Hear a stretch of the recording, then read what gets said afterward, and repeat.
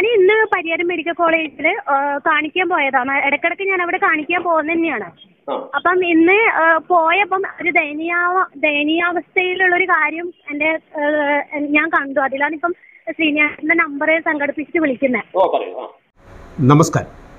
ശ്രീനി ഞാൻ പറയുന്നത് എന്റെ വ്യക്തിപരമായ കാര്യമല്ല.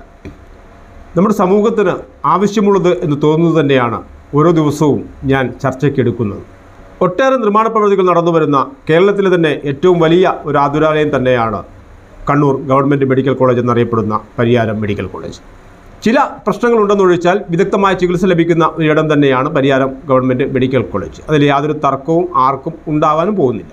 ഡോക്ടർമാരെ കാണാൻ രാവിലെ ആറ് മണി മുതൽ തന്നെ ഒട്ടേറെ രോഗികൾ ആശുപത്രിയിൽ എത്താറുണ്ട്.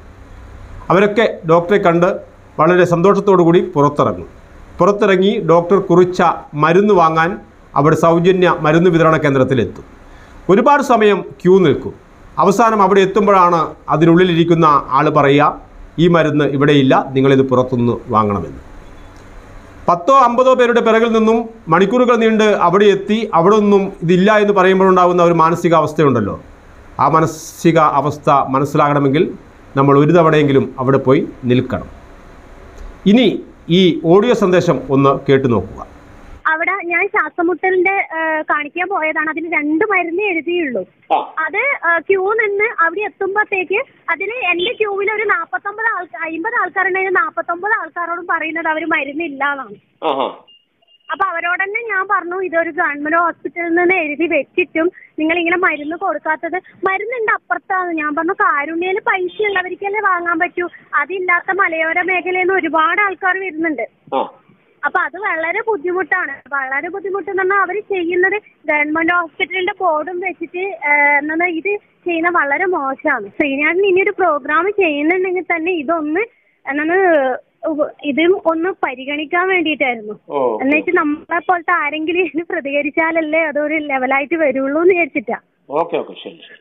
ആവശ്യത്തിന് മരുന്നില്ല മരുന്നില്ല എന്ന് എന്നെപ്പോലെയുള്ള ആളുകൾ ഒട്ടേറെ സോഷ്യൽ മീഡിയയിലും മറ്റുമായി ഇത്തരത്തിൽ വീഡിയോ ചെയ്തിട്ടുണ്ട്. എന്നിട്ടും അധികൃതർക്ക് ഒരു കുലുക്കവുമില്ല. വീണ്ടും വീണ്ടും പൊതുജനങ്ങളെ പറ്റിക്കുന്ന സമീപനമാണ് അധികൃതരുടെ ഭാഗത്തുനിന്നും ഉണ്ടാകുന്നത്. എല്ലാ മരുന്നുകളും എല്ലാ ആശുപത്രികളും ലഭ്യമാകുന്നു എന്നൊക്കെ പറയുന്ന പത്ര പരസ്യം കൊടുക്കുന്നത് ഒഴിച്ചാൽ മറ്റൊന്നും സംഭവിക്കുന്നില്ല. സൗജന്യ മരുന്ന് വിതരണ കേന്ദ്രത്തിൽ മരുന്ന് കിട്ടുന്നില്ലെങ്കിൽ തൊട്ടപ്പുറത്ത് കാരുണ്യ ഫാർമസി ഇല്ലേ?